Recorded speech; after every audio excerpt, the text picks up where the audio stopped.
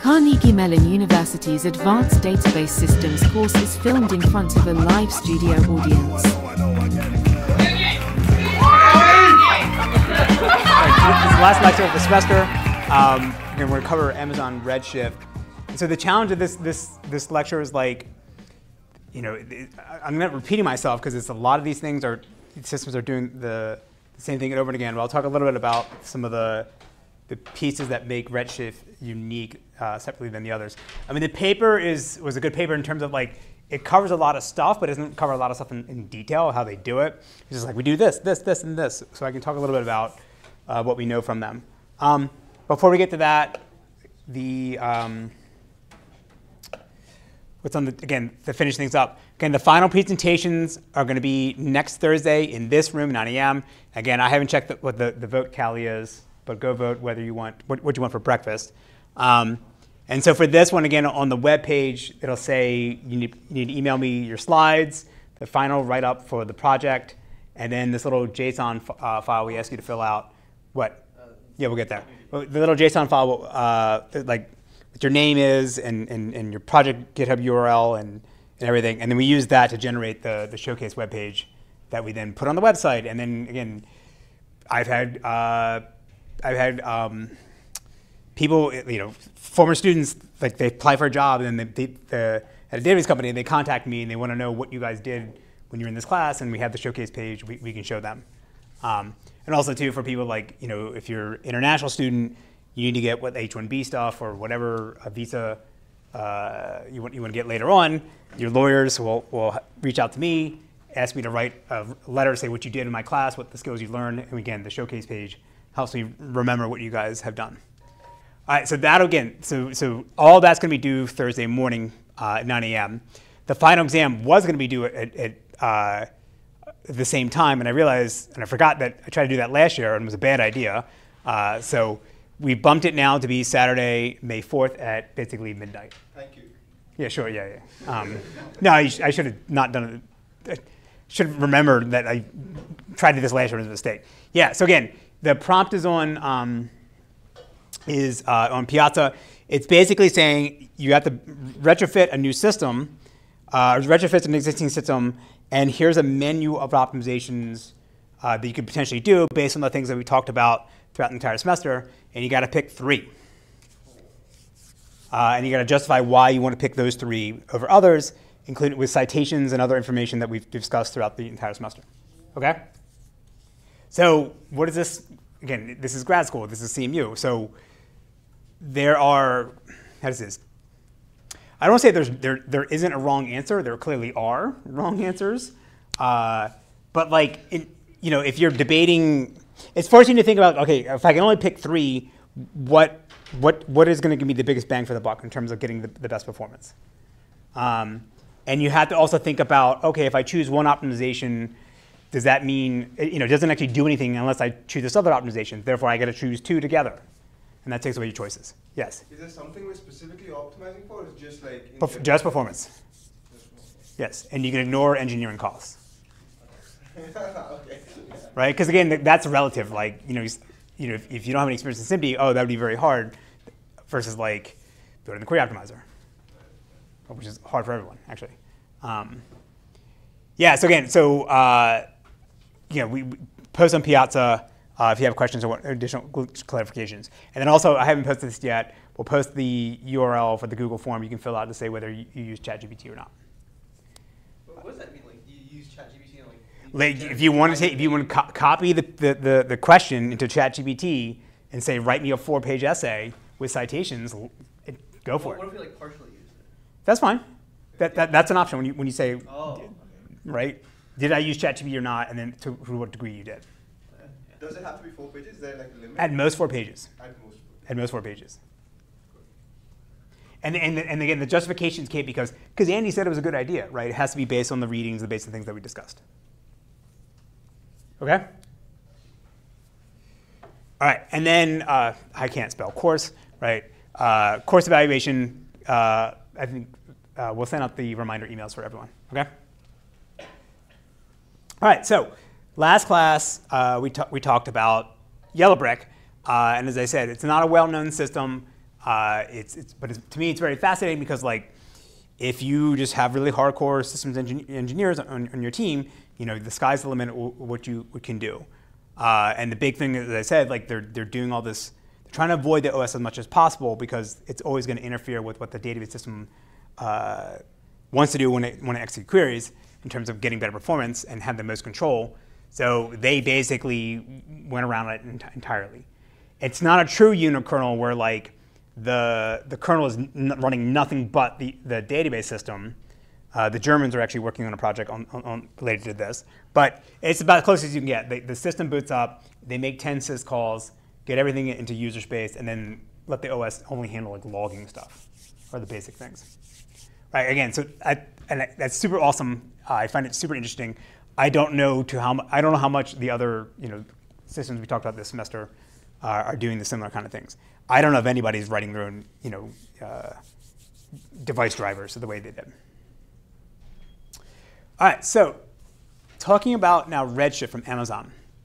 So the background you need to understand is that there is a long history of, of people, of, of com companies and, and open source projects trying to make distributed versions of Postgres. Uh, again, Postgres came out in the 1980s out of Berkeley. It was traditionally a single node system. Uh, in the 1990s, there was a commercial version of Postgres called Illustra, um, which is a completely separate code base as far as I know. Um, and the original academic version of Postgres didn't support SQL, it supported QUEL. And then some Berkeley grad students took the old academic version of Postgres, added SQL to, you know, support to it. That's why it's called PostgreSQL, uh, is the official name.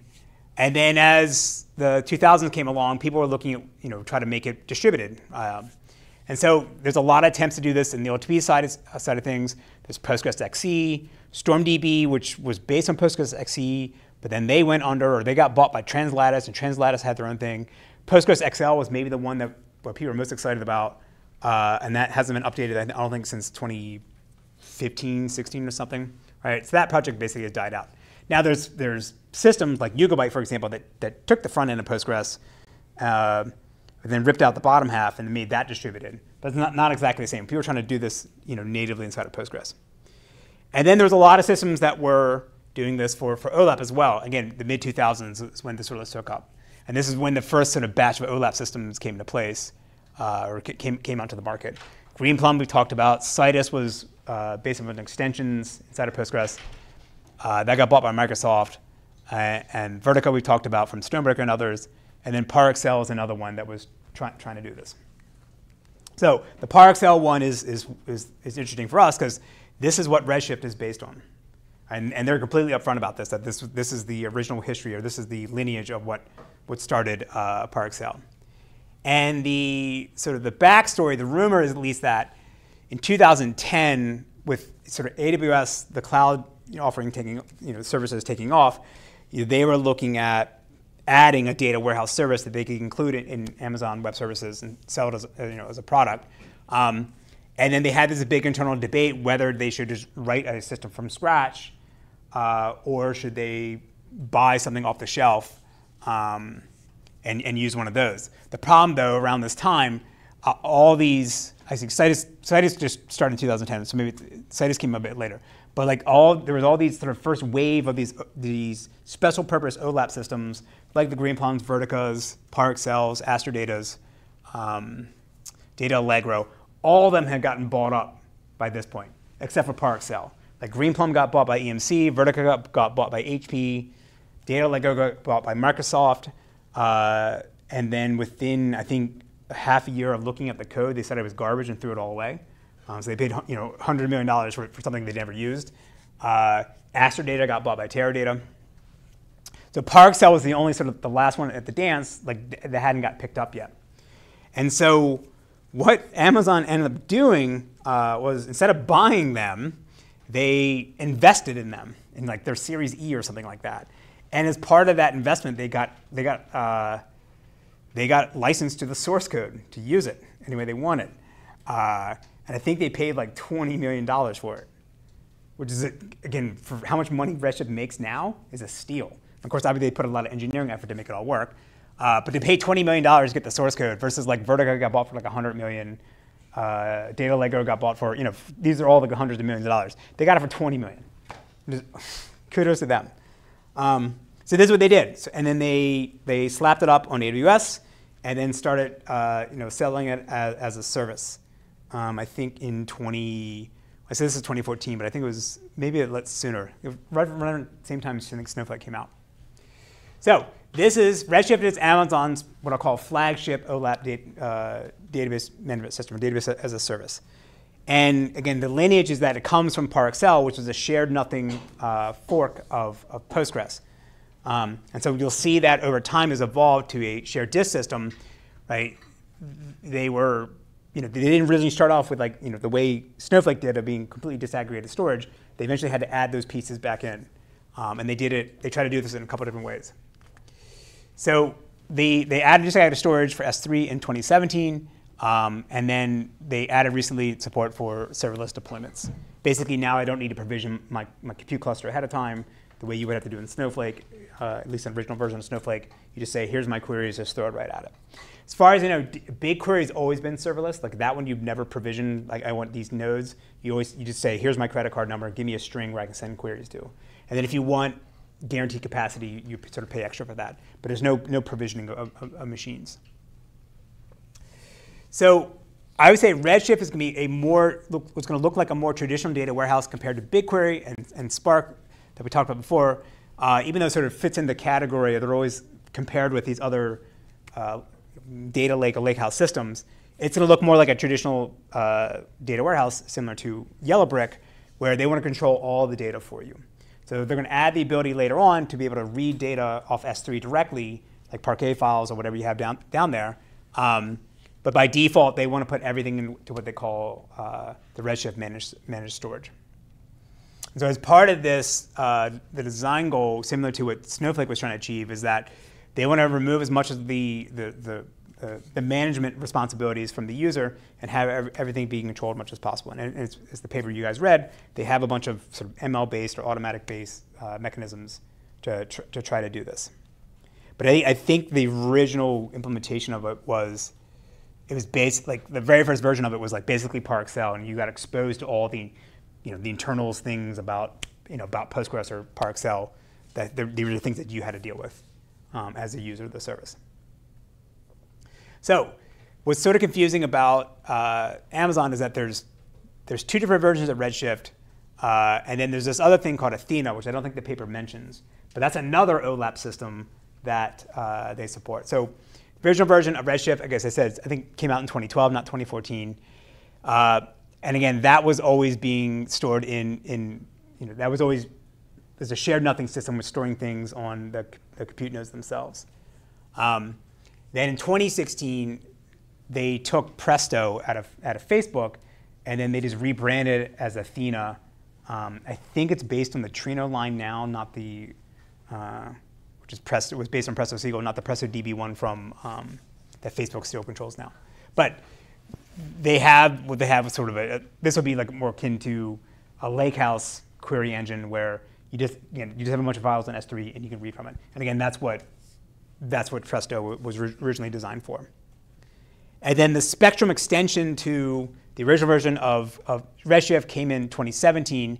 And this is basically allowing you to have, through the, the Redshift interface or front end, query data that's on S3 without having to first import them load them into, um, load, load them into the, the Redshift managed storage.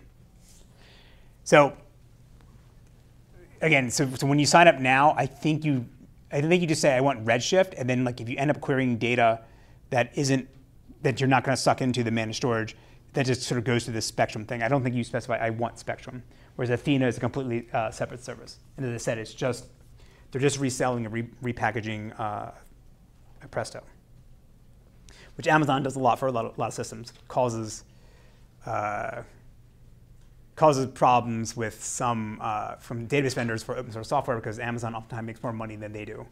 Um, oh, and, and then, so what ends up happening is these major companies end up relicensing the open source software to prevent Amazon from, from reselling it. Um, Elastic is probably the, the, most famous one that has done this, where they had to change the license because Amazon was making more money on Elasticsearch than the actual company Elastic was. Okay, so at a high level, this is what Redshift is going to do for us. Uh, so again, a lot of this is going to be the same as seen before. Shared disk, disaggregated storage. Again, even though it started off as a shared nothing, but then they they switched moved to uh, to shared disk. Then we push-based vectorized query processing. Uh, we'll talk about this in a second, but they're going to be doing intrinsics. Um, you know, AVX2 in SIMD code written by hand by Amazon engineers. What is novel about what they're doing for code generation than the other systems is that they're actually going to do both. Uh, they're going to do the vector-wise style precompiled primitives and also do the holistic uh, source to source compilation that we, that we saw in HIQUE. So they're actually going to be doing both these things. They'll have compute-side caching, Pax columnar storage will be their own proprietary storage. I think they're doing, they can do sort merger and hash joins. Another interesting aspect is that they're going to have their own sort of hardware acceleration layer, uh, and they're upfront about it. What that, that, this is what it's actually doing. Where it's like BigQuery, for example, they don't publicly talk about the in-memory shuffle. Um, and, and, as far as I know, Snowflake doesn't have anything that they do. And then they have a stratified query, query optimizer. The paper mentions like that's how they're going to be able to do uh, to handle the one-off issues that they have for, for queries by having their own sort of rewriter layer. So for today, I'm going to mostly talk about this one and, and, and this one, but then these other things will come up as we talk as we go along. So this is the diagram from uh, from the actual paper itself, um, and you know you, you can see all the different bits and pieces that that make up the overall uh, uh, overarching uh, Redshift system. So at the bottom you have this the, this storage layer here, and what's sort of confusing is that you have sort of S3 here and then you have this Redshift managed storage next to it. As far as I can tell, they are they're actually you know like EC2 instances themselves and locally attached storage, who can then also you know spill over and write read and write data from the the S3 as well. There's this Aqua thing that that's the hardware accelerator. We'll talk about that in, a second, but that could be something that stands in between the, the compute nodes and, and the, the Redshift managed storage. They have these other Spectrum nodes here. Uh, again, I think these are just, I don't know if they're like, I understood these things just to be like, it's, it's software that can then run in here in the actual compute nodes or the worker nodes for running queries that can then just know how to go read data down from, from S3. Um, yes? Two questions. What exactly, so Spectrum is an isolated thing. Is it actually talking to anyone? This question, this question is, Spectrum is an isolated thing. Actually, yes, there's no error. So this is what I'm saying. I don't, maybe I'm mis misunderstanding what, what was in the paper. Uh, and when Ippokratis gave a talk last year, I, I, don't think he mentioned this. Like, I thought this is just software because it's just like, okay, you want to read some data on S3, my worker node knows how to go do that, right? From what I understood from his talk this year was that his, his spectrum basically moves stuff from the so the RMS nodes are just S3 nodes with some more software on there, and like the spectrum moves stuff from S3 to RMS. Is that what? So your question is like like for the RMS stuff, these are just S3 nodes with the extra stuff. Yes. Yes. And then the. Does that move into that? Into this? Yes. Like, does it does it take Amazon S3? No, so I, I thought the Spectrum nodes are just it's just compute, right? Because there's because you can join like the RMS data with the, the S3 data, right? Okay. So like, and we'll talk, we'll see slides in this in a second, but like, and so therefore, like, okay, if you're just doing query processing, that's going to be done up at the compute nodes anyway. So I, I, don't know what the separate spectrum nodes are uh, actually mean. Um, and then the, like the compute isolation clusters versus Redshift compute clusters. This is just like how you sort of provision it. Do I want do I want to have you know some organization in my in my company have access to a uh, compute cluster that they can only use, and therefore uh, it doesn't interfere with with uh, it doesn't, doesn't get slowed down if people are sort of going at the general pool for the organization. But they also have the ability to, to scale up automatically if you specify to say, hey, go, go bring some additional nodes, because these things are meant to be stateless. Although I think they also do have a, uh, a local SSD cache as well. And then the compilation service, we'll, we'll talk about that, that, in a second, but that is basically, again, the, the thing that's going to run GCC to do the transpilation, the, the compilation of the queries as they go along.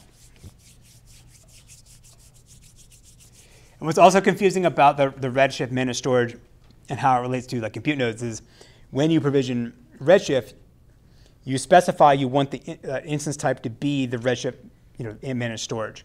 And so that almost, sometimes it, the, the literature makes it sound like, okay, well, it's the node itself just knows how to go talk to, uh, sorry, that, that, that you get a single compute instance, but there's also another instance that spins up that has this Redshift managed storage. Versus, as you saying, is it just something sitting right above S3? Yeah, it, it's, it is S3 nodes with just additional. Actually, code. yeah, additional code, yes. Okay.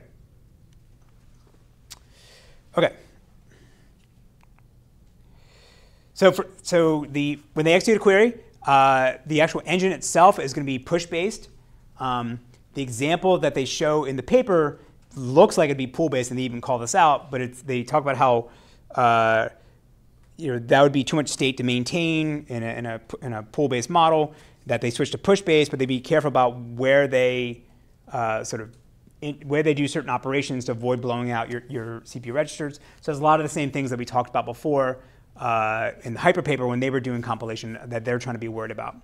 But one thing they do differently is that to re- help reduce the uh, compilation costs, the compilation time of the queries themselves, that they're still going to rely on some precompiled primitives to do vectorized scans and, uh, and filtering and, and other things. So they're not going to do full precompiled primitives the way VectorWise was for the entire, you know, the entire query plan. It's just for the lower portions and the leaves, they're going to have things that are that are, that are precompiled that are then inline into the compiled program. And as I said, the, the code that they're generating uh, is not going to rely on auto vectorization for any of these primitives.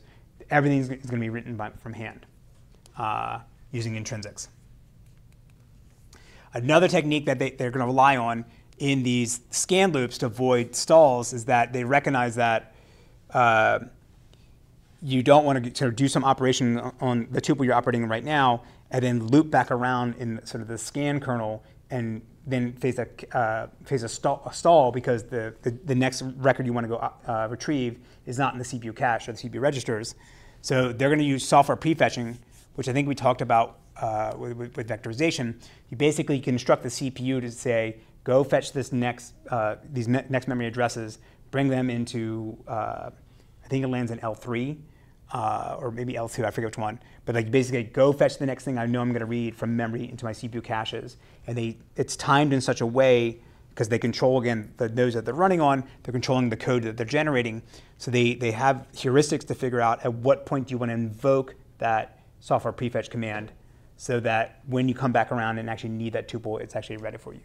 And they basically use a circular buffer to, to place these things. Yes? What does source to source mean over here? Source to source transfer? Uh, so is it, uh, like the, the query plan is the, the, query plan is the source, okay. and then you then you emit a more source code for it.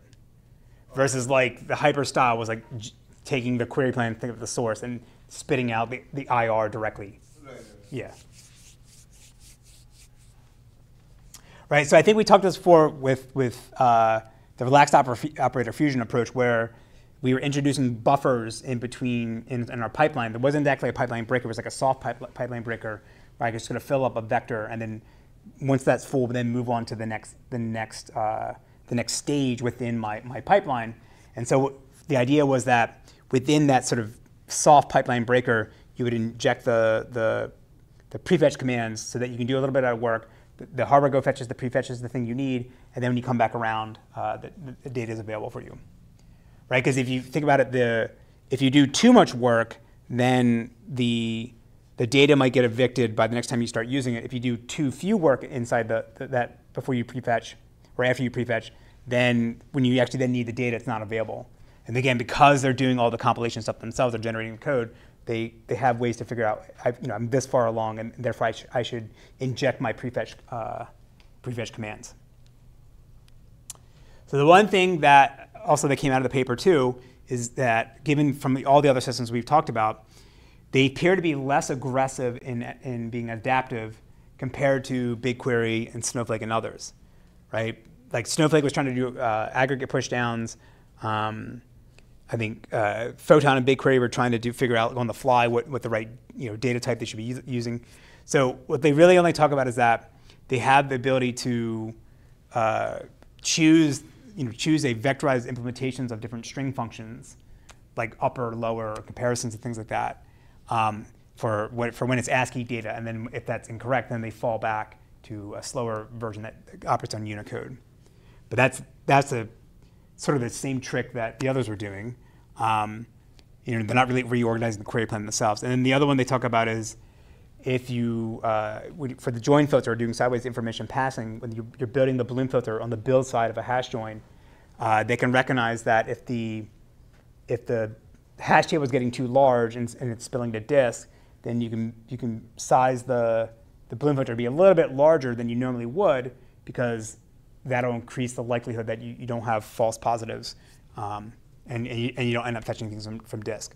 But that's really the only two adaptivity parts that they talk about, other than scaling up. But the scaling up thing is, is more like on a per query basis. Do I need more compute nodes? Because my current compute nodes are, are running other queries.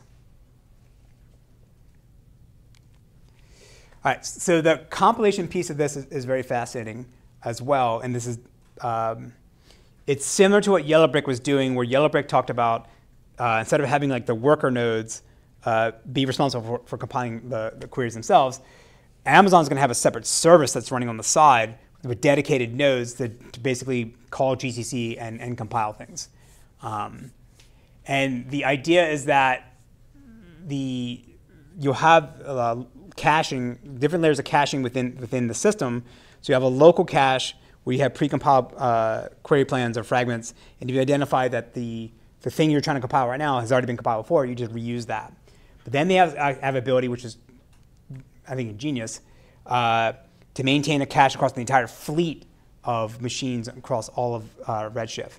So now, like the idea is that if, if you come across a query that your cluster has never seen before, it doesn't have the, the compiled query plan in its cache, it can go look in this global cache and see did somebody else have something that's very similar, and to be able to reuse that, that shared object, that precompiled uh, or that compiled uh, code. And again, from a from a security standpoint, there isn't any issue because it's not like there's running it's running arbitrary user code. It's it's literally like scan this table on this type with this kind of filter. And so it doesn't matter whether your table contains you know banking information and my table contains blog information. You know, at the end of the day, a column is a, data is a column of data, and they, they can reuse that. So they talk about how the cache hit rate is like 99.95% for uh, across all queries and across the entire fleet. And then in the cases where if you don't have the precompiled uh, segment on your in your local cache, 87% of the time that when you go to the global cache, it's going to be in there. Right. So this basically negates the cost of compilation, the thing we were worried about before uh, when we are talking about the, you know, how to use this technique. And you know, again, when we talked about HIQUE and, and, and and MemSQL and other systems that, that fork exec GCC, we talked about how like you know it's gonna be seconds to actually compile things. Even Hyper was, was in some cases it was gonna take you know hundreds of milliseconds to compile things. All that goes away because everything's cached. Yes. How big is that cache? The question is how big is that cache? I mean, it's not gonna be petabytes, right? But like, you know, it's probably a couple hundred gigs, sure. But but who cares? It's your Amazon, right? Like how big, how big is the S3, total amount of S3 storage? I, I don't, huh? A lot, yeah. So who cares if you have this cache, these cache query plans? Right? And then from their perspective also too, like it's a win-win situation because the customers are happy because the queries run faster. Uh, it's less computationally expensive to, to you know, fetch something from the cache than, re than recompile it, right? So for them, it's, it's uh, th this is a no-brainer. And again, this is what you can do when it's in the cloud. Like again, if you're running Hyper and it's local on your, on your box, you can't phone home to, to say, you know, do you have this compiled query plan? Because it's sort of not designed that. But when it's a service running in the cloud, when you control everything, you can do this kind of trick. So I saw a similar idea from um, uh, it's a sort of commercial JVM company called Azul, A-Z-U-L. And they now have a compilation as a service, almost similar like this. So like if you're running your Java program, you can have their compiler, the, the local compiler, uh, or the local JVM say, oh, I, I, I want a you know, compiled version of, of this jar file I'm about to run on this, on this hardware. They, they, you can call the service and get you know, cache binaries from them. Um, yes? What I'm most surprised about is that the level of indirection of going to the cache isn't is less costly than actually compiling. So your statement is you're you're you're more impressed that the cost of going to the cache is cheaper than just compiling locally? Yeah, because isn't compiling locally just like 10 milliseconds or uh, and Was hundred milliseconds? seconds? Seconds. Okay. Yeah. Okay. Actually, how large are these precompiled? They, like, let's say in like source code lines, are, they more than like? The question is how- how- 200 lines? Because should, should like if it's like precompiled operators, it should like one operator is not going to be more than like a thousand lines, right? So, So his statement is like, how, how big can these programs actually be? Because, like, you know, if it's, because if you're using some precomp, precompiled primitives for certain parts of the lower leaves, but, uh, you know, what about everything else? How, how much that, can that be? It can be in the thousands, right? Like for really big queries with a well, bunch if of. if they uh, sorry, just just specifically for the precompiled primitives, like just I assume The precompiled primitives are usually pretty tight, yeah, right? Those are the small ones. Yeah. Oh, so everything else like It's all it's all the Okay. so the, the scaffolding around it that then calls into the precompiled primitives. That's what they were they were trying to avoid compiling that. So what's the point of having the precompiled primitives if you're gonna? The statement is why have the precompiled primitives if you're going to you know pre, you know be able to compile, compile everything.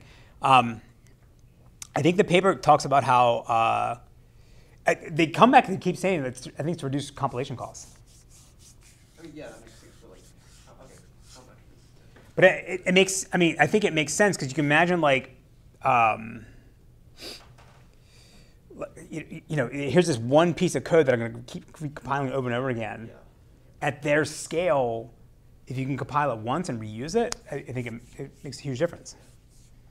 And they talk about again, there's this overhead of, as we saw before, you know, with, with if the precompiled primitives, you know, invoking a function is not free at runtime, obviously, because it's a jump call on the CPU.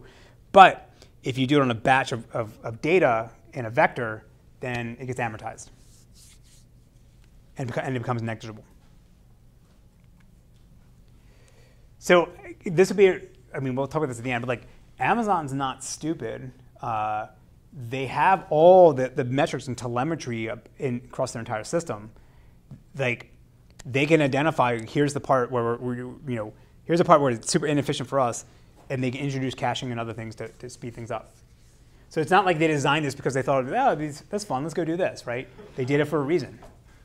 Um, and so, like to your point, like yeah, who cares about compiling the same you know same five line function over and over again? Think of it again on Amazon scale, you're doing this a billion times a day. That starts to add up. And so the, you know this probably saves them at, again a million millions of dollars a year to have this.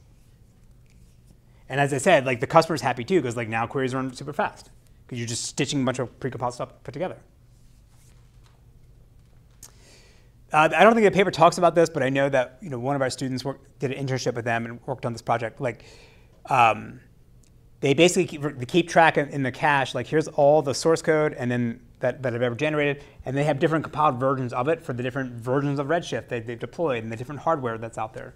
Right? Because Amazon's always putting out uh, new instance types and so forth. Um, and put- you know, they don't really tell you exactly what the CPU is. That's all hidden from you, but uh, you know, they obviously upgrade things over time.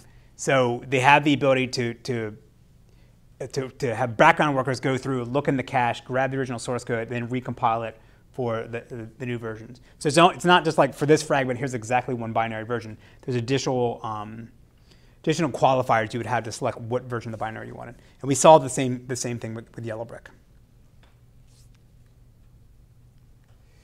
All right, so the other thing that the paper talked about, although it's rather short, um, but we can, we can discuss a little bit, is that they have this hardware acceleration layer called Aqua, the advanced query accelerator uh, for, for Redshift. As far as I can tell, this is just for Redshift and not Spectrum, um, right? Because Spectrum is kind of trying to go against directly S3 storage, but I, I might be wrong about this.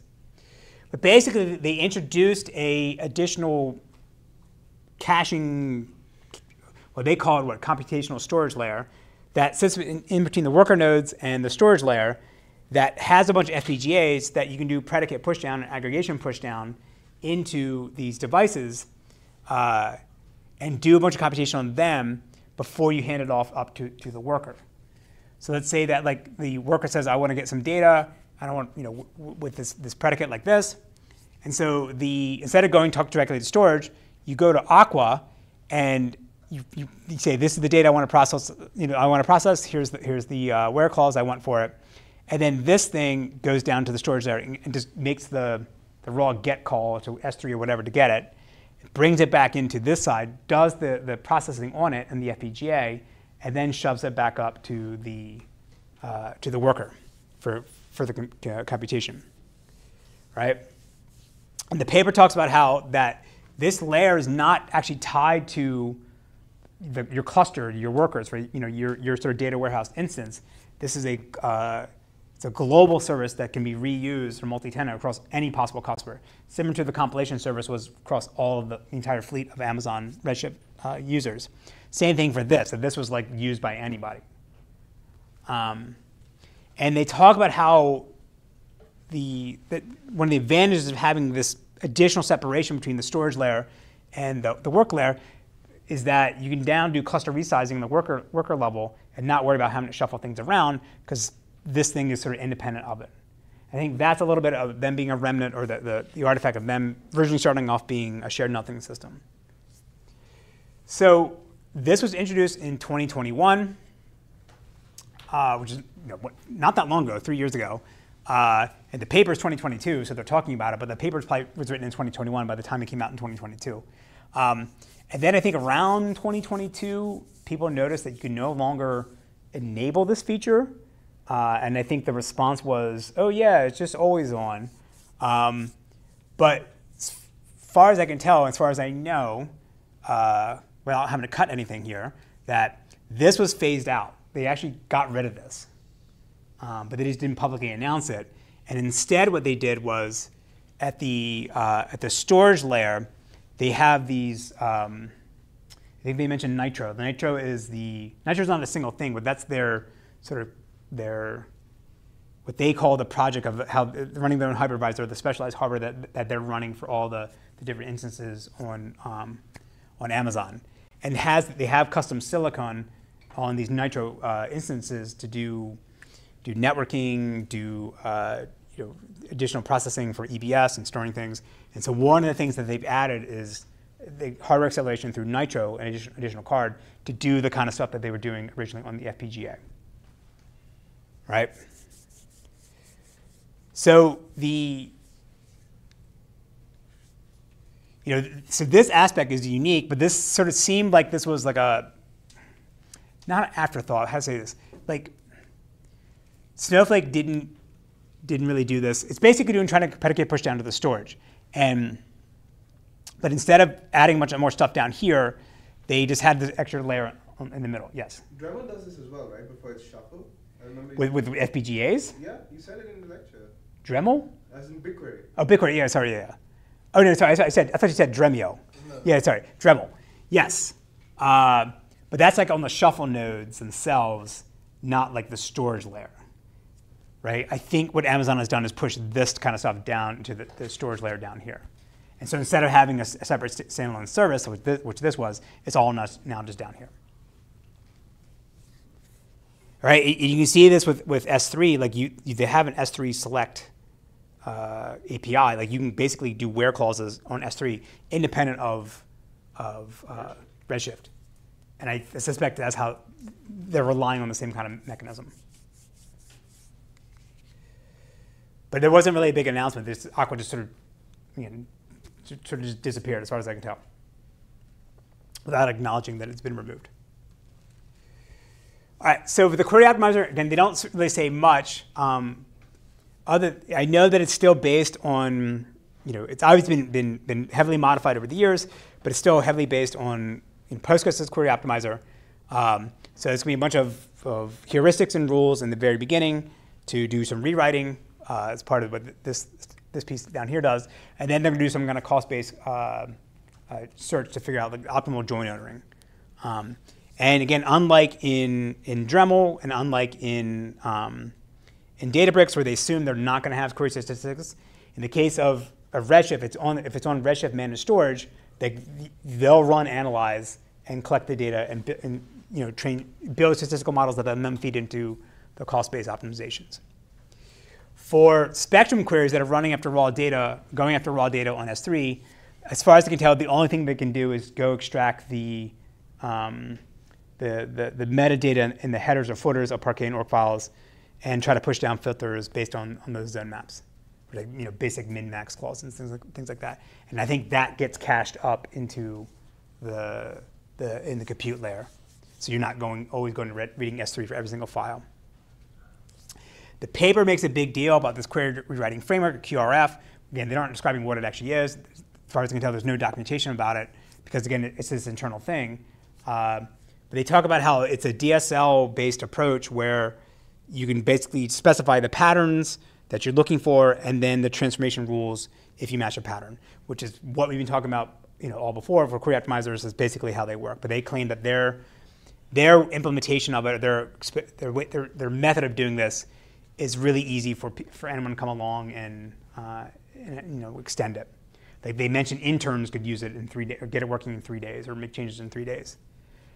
So this sounds like what the yellow brick people were talking about in last class, where they rather than make, making you know principal changes to the, the, the internals of the query optimizer and how it actually wants to do searches and enumerations and other things, that they have these sort of one-off rules where they try to patch things up for queries as they come in based on, you know, to, to sort of force the, the, the query plan in, in, the form that they want it.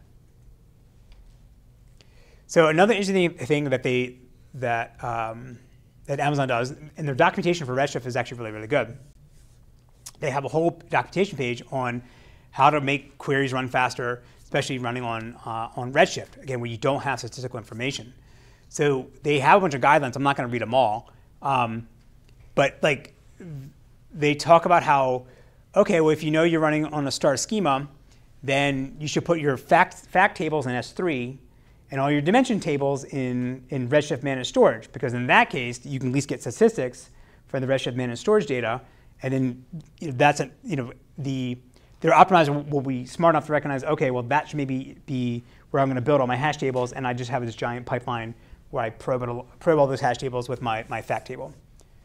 Or they talk about how like you should write your queries in a certain way that you know that these things can be pushed down into uh, into the storage layer based on them being simple and whatnot.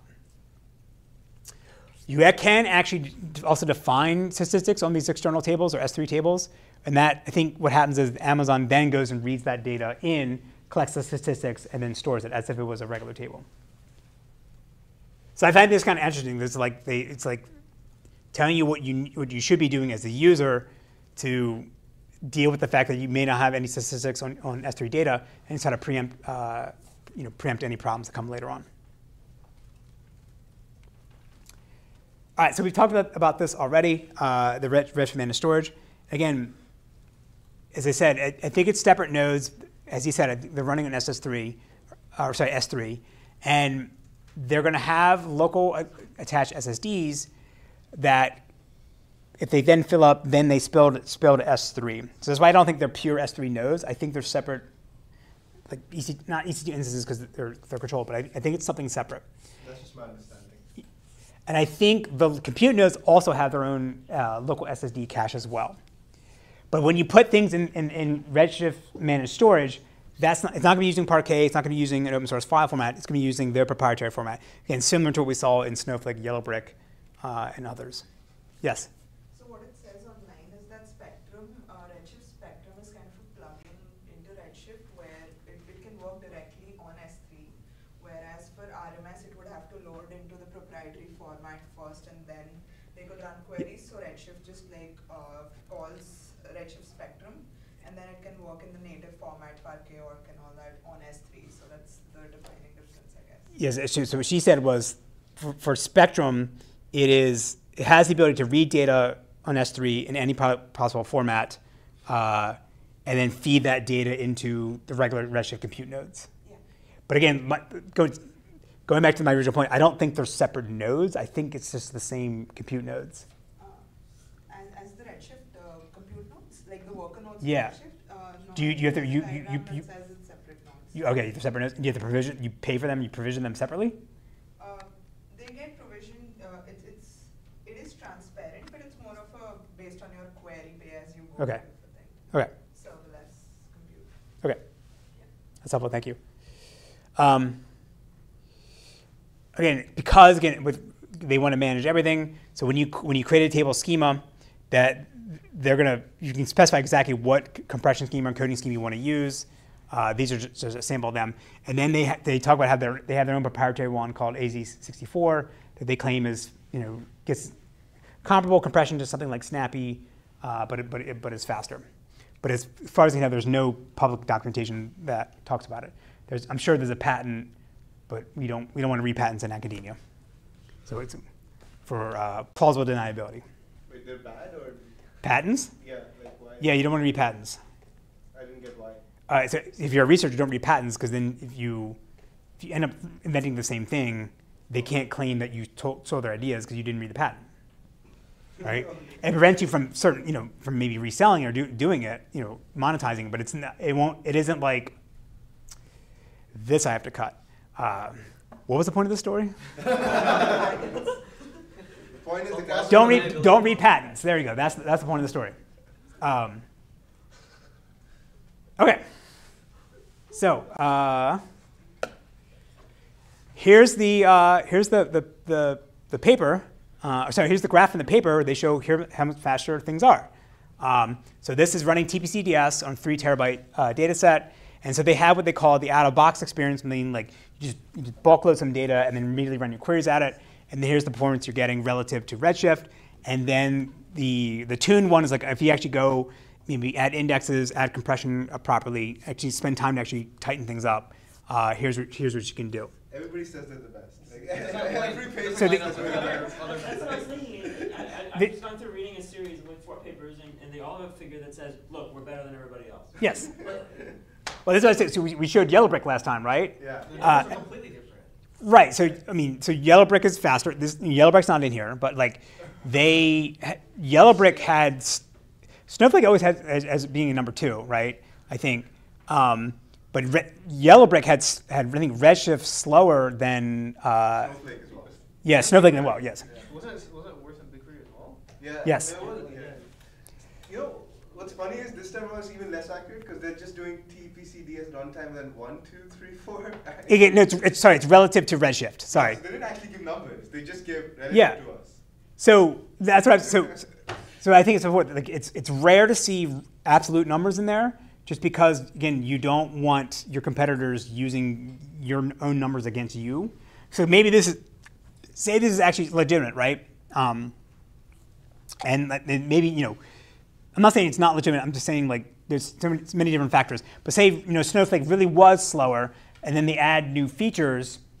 And to get it get this number down, so now they can point to say, you know, Red, Redshift got this and we got that because we added this new feature, right? So they want to avoid all that. And they said Yellow Brick, that paper is great because they put raw numbers in. Yeah. No one does that, uh, but there's no way like Amazon Legal is going to let you put anything out like that.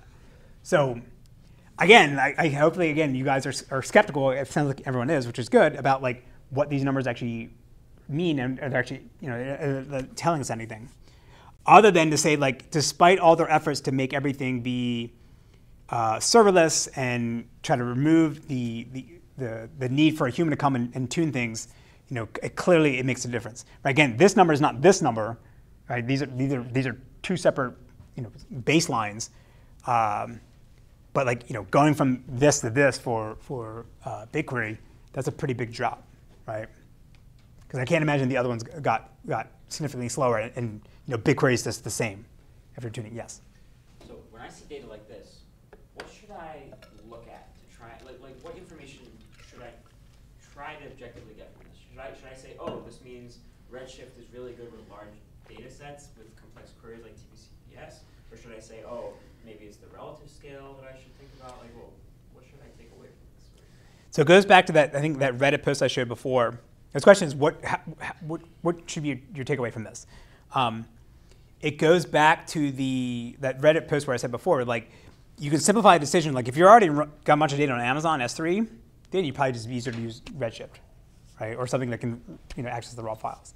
Um, the if you're a company where like you know it's your it's your job or responsibility to figure out what you know which one you can use, and money and and location of what cloud platform you can use is not an issue. You just don't like look at this and say, oh, I'm going to use this. There's the whole process where you do a POC. They, they have solution architects help set up your cluster. Like if, if, you know, if you're signing for millions of dollars of you know, years of service, right? Because you're also not paying monthly. You're paying like you're prepay ahead of time to get a discount. So you have like solution architects that help you know set up your the environment, help take a sample of your workload running on whatever you know software you have now, data system you have now, and then they'll run experiments for you and give you feedback.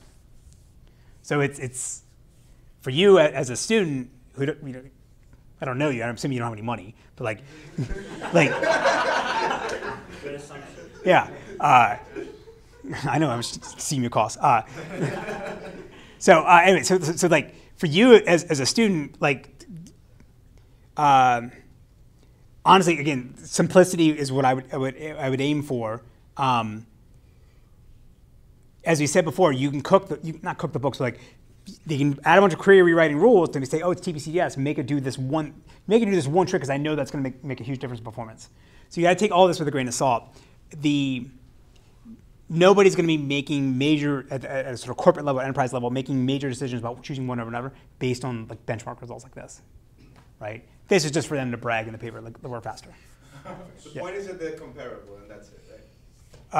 Uh, comparable in terms of what? Like they're all comparably fast, so you can pick the one that best. That's the point. Yeah, I, I, I- that's, I'm going to say this in a second. Yeah, that, that's my end. My end. My end. My sort of concluding, concluding remarks for the semester is exactly as you said. Given that you know, here's all the optimizations that I can do. We saw through the last couple, couple weeks how they're, they're all doing vectorized execution. They're all mostly doing push-based stuff. They're all doing some either precompiled primitives or, or, or you know, holistic query compilation. They're all doing what you should be doing to, to get a high-performance OLAP system. Good question. Redshift only does the primitives, right? Doesn't do the holistic. full- No, they, they, do, they do both. That's the whole thing. They codegen in C++ that, that, that, that where they inject the precompiled primitives into it, Oh, okay. right? That's unusual. Nobody else does that as far as I know. Yes? From a business point of view, I fail to understand why Snowflake and Databricks are like that successful. Because Redshift, uh, Synapse, and BigQuery, like they are all based on cloud providers, right? Yes. So Snowflake doesn't have that. So how, how yeah, good question. So his question is like, how can Snowflake be successful as it is when it's competing against Microsoft, the Googles, and, and the Amazons? And the answer is because they got there early.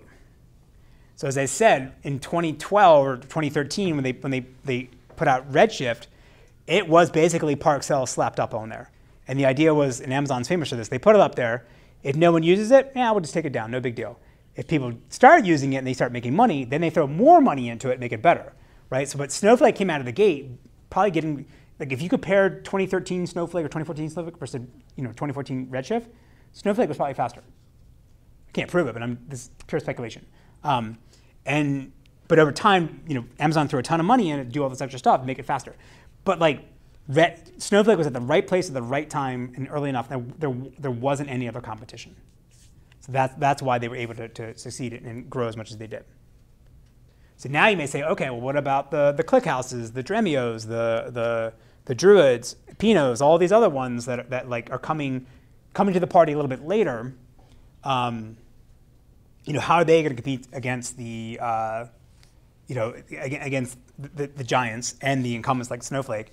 Um, it's, it's hard. It's an uphill battle. You just got to figure out what the, you know, it's, it's up to the companies to figure out like what's sort of one thing that they think they can do much better than what you know the, the, the big queries of the world can, can do. Because it feels so hard, right? Like it's, It is hard, yes. you have a, a, fabulous idea that will make your query run so much faster. like Amazon can just implement it as well. Correct. Yes. It's David is like, say you have this amazing new idea. Like, how are you going to? Can Amazon just, you know, throw a ton of money at and implement it? Yes. Now, big companies, they're, they're giant ships. It takes a while to like, you know, to move things, right? This is sometimes called the innovator's dilemma. Like, it's you're making so much money on what you currently have, which you know at the time maybe state of the art, and then something new comes along, and but it radically changes what you what how you approach things. You know, you're not really incentivized to go make that change, and therefore the upstart can come come and come beat you. That's basically what Snowflake did, right? Oracle already had, and Teradata already had cloud, or sorry, not cloud version. They, they already had like enterprise grade OLAP systems that they could have sold on the cloud, but they were making so much money on prem that you know they didn't they didn't invest in that maybe early as they should have. Teradata is probably the, the best example of this, right? Or DB2 is another one. Um, so this is what I was maybe saying also early in the semester too, that like OLAP systems now more or less have become the core engine, the kind of things we talked about in the China semester, they basically come commoditized. And now you have something like Velox or Data Fusion where like you can get a high performance OLAP, you know, execution engine uh, out of the box, you know, you know, free, and then you sort of build something around it to, to then, you know, run queries and do other things. And so what makes maybe Snowflake unique in 2013, you know, is, isn't enough anymore. And it's all about the user experience. It's all about how good the query plan uh, query planner is. Um, you know, how well can you read data in S3 uh, with, you know, without requiring users to do a bunch of extra stuff. Like those are the they're they're harder to measure from a from a sort of scientific ob- objective because there's like you know qualitative aspects of, of the, the system. But I think those are going to really matter a lot. I would say so. The one area where you see like the Pinots and others trying to differentiate from these other guys is that you know this is not really meant for run real-time queries. Like if I ingest data, you know I want to be able to get query it like almost immediately. That you're not really not going to be able to do that with these these systems that well. Um, and so there's these what they'll call real real-time OLAP systems where they're either doing heavy indexing, something like Rockset does this, Pinot does this, or you're doing uh, automatic materialized views. This is what materialized does. So there's there's systems where upon ingestion of the new data, you're building some additional data structures that then let, you can then query almost immediately, in a way that you can't really do with these sort of these these traditional OLAP systems in the cloud.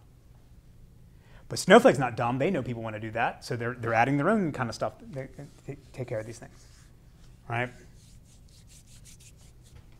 So that that's you know, it's hard. You know, again, it's hard to, to, to measure, you know, how, how good someone's experience with a system is versus another without because you have to talk to humans and humans don't know what they're doing. Um, and so the best you can really do is raw performance numbers. So as I was saying with Redshift, this is a good example of like a system that has evolved organically over the time because you know maybe start off as a sort of a shared nothing system, even though things moving into the cloud was was we, as we talked in the entire semester, you want to be disaggregated storage. Um, but then they, they've changed their, their architecture and add additional features based on what they're seeing. And again, they collect telemetry on everything. Every single query, they collect telemetry, all the usage patterns, and they analyze it to figure out here's the things that they, they need to optimize, or here's the things that can, they can make things run better. I don't know if the paper talks about this, but um, Ippokratis gives this example all the time. The guy, the CMU alum who, uh, who works on Redshift now, that they looked at their telemetry and saw that update queries were actually running really slow, and there was a lot of them, which is not something you would think about if you're trying to build like an OLAP system, right? Because you think of mostly read-only data. So they they then went ahead and optimized update queries, and that made a huge difference and you know, reduced their costs, made their customers happier, and they can do that because they have the telemetry. So going back to this compilation service or or this Aqua thing they added, they didn't add it because they thought it was cool. It had a bunch of FPGA sitting in the closet that they, they had to get, get rid of they did it because they saw the, the, the, the measurements from the data they've collected, that this is the bottleneck. Let's go try to you know, add a new component, add another layer to, to make things run faster. Right? And that's, that's the, you know, that's another again advantage of being in the cloud where you see everything versus on-prem where you, you throw it over the firewall. Hopefully somebody then comes back with a report and says, this is what, this is what ran slow. Yes? Since we're at the end of the almost course, I had a question. Yes. Why is it that all the academic papers were looking at TPCH and all of these industries were looking at TPCDS? His question is, why are all the academic papers looking at TPCH and, what, and why all the uh, commercial systems using TPCDS? Uh, I would think, so TPCH is obviously easier to get up and running. It's 22 queries versus TPCDS is 11, or sorry, is 100 queries. Um, and there's CTEs and things like that. So, I mean, the Germans can run TPCDS. I don't know whether they report numbers. Um, but the, the amount of the, the amount of work you have to do to get TPCDS running versus TPCH is much higher because you got to do CTEs. I don't think it's any window functions in TPCDS. It's, it's in, you got to make the query optimizer better. It's a higher bar from an academic standpoint to get that up and running. A, a classic, another example would be if for, on the OLTP side, there's TPCC, that's from 1992, and then there's TPCE, that's from 2006. That's supposed to be the successor to TPCC. But nobody runs TPCE. Actually, nobody in the commercial side usually runs it too, because it's a pain in the ass to actually write the code and get up and running. And everybody, everybody just runs TPCC. Uh, I think it's so. I think it's just from a complexity of getting the thing actually running. There's a lot of open source implementations up for TPC DS as well, but for TPCE, there's nothing. There's not much. I think so. Yeah, I, I think it's just the complexity of that. All right. So as I said in the beginning, Amazon makes billions, the B, uh, on, on Redshift each year, right? They don't report this publicly, but I think AWS makes, it's like, it's, I think it's 100 million, sorry, 100 billion a year. And I know that Redshift is, was, as the paper talks about, was the, the fastest growing uh, service that they added in, in AWS. That I think got replaced by Aurora. Uh, I think that was the, the, the newest, fastest growing one. Um, and for all this ML stuff, I don't know what happens happening there. But they're making a ton of money on Redshift.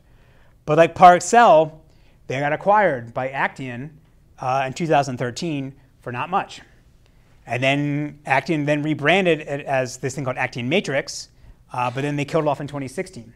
So as I said in the beginning, Amazon bought the license to, to, to ParAccel for maybe 20 million, and they're making billions per year off of it. Now again, there's, there's obviously hardware costs, there's labor costs to build this, uh, but I would say from their perspective, that was a, that was cutthroat. Uh, that was that was a gangster move on their part. Um, who here has heard Actian? Nobody. Actian is what Ingres became, or so Ingres is. So Ingres went public in, again, Ingres is the, one of the first relational systems. It's before Postgres. They went public in, in the 80s, got bought by Computer Associates, got handed off, passed around over a couple years. They end up being a new holding company that they then changed the name from, Actian, from Ingres to Actian. And then now they basically buy up a bunch of uh, these, these databases that are kind of in maintenance mode uh, ParAccel's in one of them. They actually bought VectorWise. Um, that wasn't in maintenance mode. That was actually, I think they were actually trying to do something real with that. But they, they bought Pervasive. They, they buy a bunch of these older databases and they sort of milk the maintenance fees. And then they got bought by another holding company out of India. Um, and so they still sell Ingres. I think they, I don't know whether they call, I think they still call it Ingres. I might be wrong. But anyway, so ParAccel again sold off for 20 million. So sold the license for 20 million. I don't know how much they got bought for, but I don't think it was, was that much. And then, it, and then it died. And then Redshift lives on. Again, a lot of money in databases. All right, so that's it for the semester. Uh, this has been fun having you guys. Uh, this is the first semester where we've only had uh, one person drop the entire semester. Um, and it wasn't for, uh, you know, for reasons outside of their control. Um, so again, appreciate everyone being here. Thursday, Next, next week, we'll do the final presentations. It'll be random order this time. Um, you know what that means for us. huh hey, I, random's random, okay? Uh, and then I would say I didn't pick Redshift. I didn't pick Redshift last for any reason because it was like you know the greatest whatever. I think it just covers a bunch of stuff that that, that we've already covered, um, and I want to make sure I include it because it's, you know it's a, it's a large system. Um, I I don't have office hours today because I, I got to head to the airport, uh, but send any send any emails if you want to talk personally this weekend, um, or send me emails about like you know you want additional information about, about your uh, what your presentation should be, and then the final exam again. The PDF is on Piazza. Uh, if you have any clarification questions, post that in the in, in Piazza below. Okay. All right, guys. Good luck with the rest of your classes. See ya. Gotta bounce to get the 40 ounce bottle. Get a grip, take a sip, and you'll be picking up models. Ain't ain't no puzzle I guzzle, cause I'm more man. I'm down in the 40 and my shorty's got four cans. Stacks of six packs on the table. And I'm able to see St. Ides on the label. No shorts with the corks, you know I got 'em. I take off the cap, but first I tap on the bottom. Throw about three in the freezer so I can chill it. Careful with the bottle, baby. Oops, don't spill it. Cause St. Ides it says the paint Ives red. You drink it down with the guys, it'll rise head. Take back the pack of duds. They go get you some St. Ides and drink it to the suds.